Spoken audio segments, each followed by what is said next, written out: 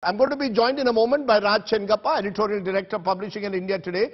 I'm also joined by Yogendra Yadav, President Swaraj India. He joins me. And Swapan Dasgupta, former Rajya Sabha MP and BJP member, joins me. Swapan Dasgupta, let's come to you first because what do you see as the Modi model? What are the hits and what are the misses? If I were to ask you, tell me the three big hits and the three big misses in your view. No, Rajdeep, I, I won't approach it in that way. I think if you're going to look at what might be called the Modi model, I think the most important thing is it's a vision of India to think of India as something which is much greater in terms of aspiration, in terms of mm-hmm. performance than it, what it has eh, what it has hitherto been. It is trying to get the full potential of India as far as possible and using the government as a facilitator for that. That's the essence, the broad uh, uh, ambition of what you, you call the Modi model. I'm not going to use the word Modi model. I think that's the Modi vision. And I think if you look at various things, various, whether you look at the architecture of the welfare projects, whether you look at foreign policy, whether you look at other economic initiatives, you will find that all of these are tailored, A, for the long term, B, to make it transparent, and C, to ensure that it reaches every section of society. Today, when the Prime Minister talks about ensuring that all the benefits of the programs reach 100%, it's an assumption, and I think quite rightly so, that it, there are still sections of the population which are uncovered, which are not completely covered by this. So at every point, the idea is that you penetrate more and more and ensure that nobody gets left out and that the standards of living of Indian people are brought up in gradually in every possible way and that everybody gets that necessary elbow room, whether it's through toilets, whether it's through drinking tap, uh, tap water and other housing, so that you get that elbow room, so that your full potential of an individual or of families can be okay. fully developed. That's what I think is the what the Modi aspiration is. What's what I think in the Modi vision is. Yogendra Yadav, you want to respond to what you just heard from uh, Swapan Dasgupta that the model is aimed, if I may use the word model, at raising the standard of living for all and thereby, according to uh, Swapan Dasgupta, the welfare schemes in particular would be seen as a representation of this Modi model. Uh, Rajdeep, to my mind, that's not the model. That's actually the label or the wrapping on the model. Uh, I think uh, Mr. Modi must be credited with one thing.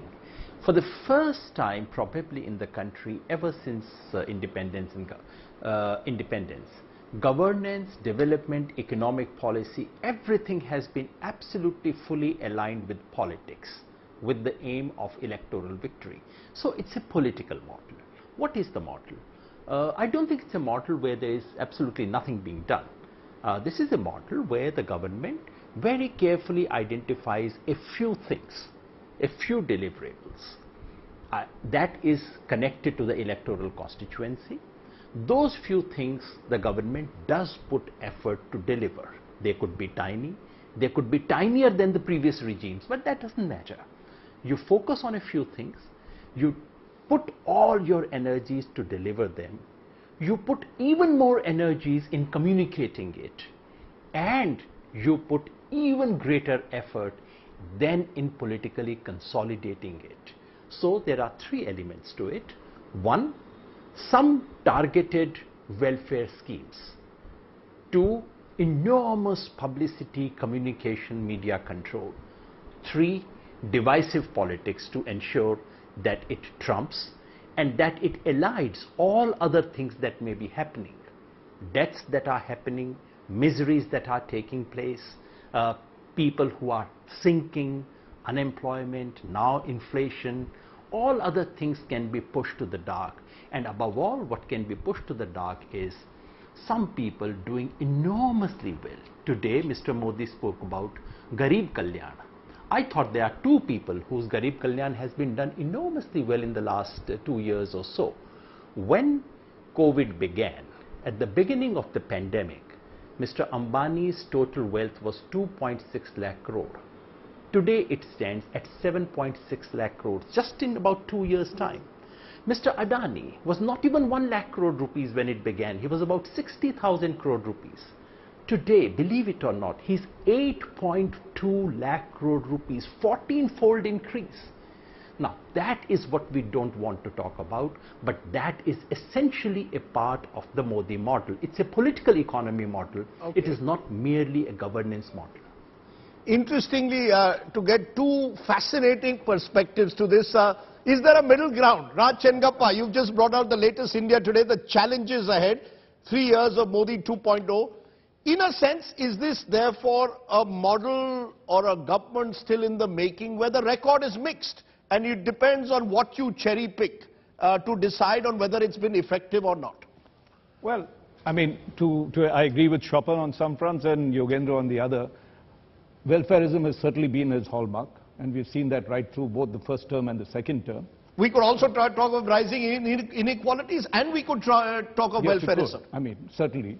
Uh, if you look at security and national security, he certainly has been bold in a, a lot of things. So I would uh, characterize the government as being efficient. If you see DBT and also, you know, eliminating corruption and things, right? There's been a great deal of efficiency in terms of delivery on a lot of the schemes that's there. And uh, overall, you get a sense that he thinks big. He's bold. He's decisive in what he takes. So there is a model that is emerging. It's still work in progress because he's in his eighth year that's there.